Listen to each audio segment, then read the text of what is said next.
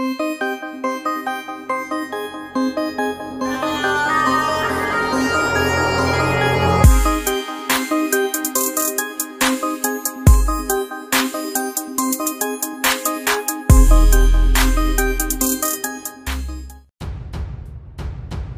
guys, welcome back to my channel.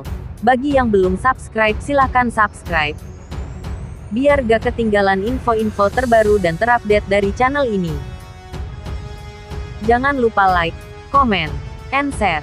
Tonton video ini sampai habis ya, biar gak ada kesalahpahaman. Kedekatan desainer Ivan Gunawan dan pedangdut Ayu Ting Ting memang sudah menjadi rahasia umum sering tampil kompak dan akrab. Tak jarang Ayu Ting Ting dan Ivan Gunawan kerap dijodoh-jodohkan oleh netizen. Para penggemar dan publik yang menyoroti hubungan Ayu Ting Ting dengan Ivan Gunawan. Bahkan mengaku sangat merestui bila kedua idolanya menjalin kasih.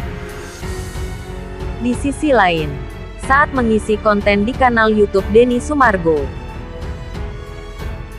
Ivan Gunawan bahkan secara belak-belakan mengakui bila sosok Ayu Ting Ting memang selalu menghiasi hatinya. Ivan Gunawan juga mengakui saat ini dirinya hanya sedang memiliki kedekatan dengan Ayu Ting Ting. Baginya, Ayu Ting Ting merupakan satu-satunya wanita yang berhasil mencuri perhatiannya sejak pandangan pertama.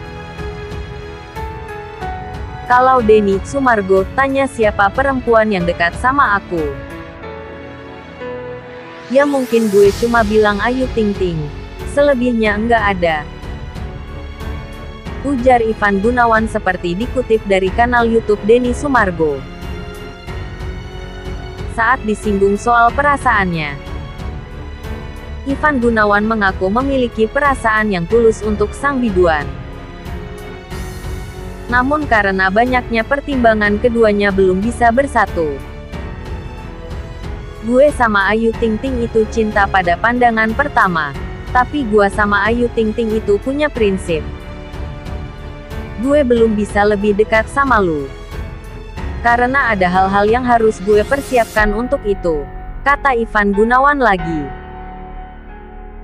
Lelaki yang akrab disapa Igun ini kemudian menjelaskan kendala apa saja yang membuat dirinya dan Ayu Ting Ting belum bisa saling memiliki. Gua kalau sudah love at first sight, susah. Gue lihat. Gue cinta. Gue sayang. Tapi gue enggak bisa memiliki. Bukan enggak punya nyali untuk memiliki. Tapi untuk saat ini belum bisa. Ucap Ivan Gunawan dengan percaya diri.